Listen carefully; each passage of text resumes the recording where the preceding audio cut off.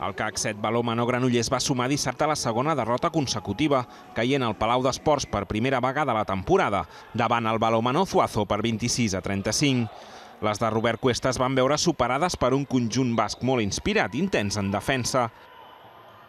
Aviam, el partit d'avui, la veritat que Zuazo ha fet molt, molt bon partit, tenien molt clar com ens havien d'atacar i com ens havien de defensar i així està la, la diferència. Sumat que nosaltres ho hem intentat però no, no, no ens ha sortit res, o sigui, la diferència està, està aquí. El partit va començar amb intensitat màxima per part de les visitants, que no deixaven penetrar cap jugadora ballesana i provocaven d'aquesta manera pèrdues de pilota en els primers minuts.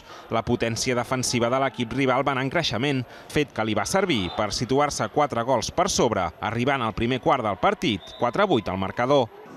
Per tal d'aturar la sagnia de les basques, Robert Cuesta va demanar temps mort. Arran d'aquesta aturada, les ballesanes van fer un pas endavant, amb l'ajuda indispensable d'Andrea de la Torre sota pals i la força de Tilda Macis, Mireia Torres i Fanny Monrosa a la primera línia. Tot i això, la renda de 4 gols a favor de les basques van augmentant amb un 6 a 13 al marcador, al minut 17.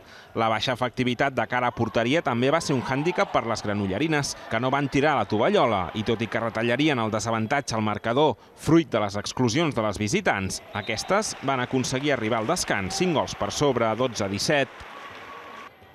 a 17. A la represa amb dos equips van sortir amb la màxima concentració, tot i que la manca d'encert de cara a porteria, propiciat per les aturades de la portera visitant Medialla, va ser una llosa per l'equip granollerí, que veia impotent com el conjunt visitant s'escapava al marcador. Al minut 40 l'equip basc va disposar de la major renta, 14 a 24, tot i que el CAC 7 Balomano Granollers va seguir la seva lluita particular, liderat per Mireia Torres en atac i Tilda Macis en defensa. Tot i això, l'equip ballesano va ser capaç de recuperar el control del partit, que en tot moment va ser de les jugadores basques que van acabar avancent per 26 a 35.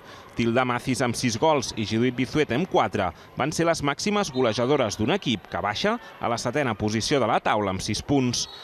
Eh, ha faltat estar més afinades, estar molt més disciplinades, tindrà molt més clar com atacar, de quina manera i sobretot en defensa també. Ens ha faltat l'afinació aquesta de concentració. La propera jornada les ballesanes visitaran la pista del Balomana Porriño, que és 11 amb dos punts.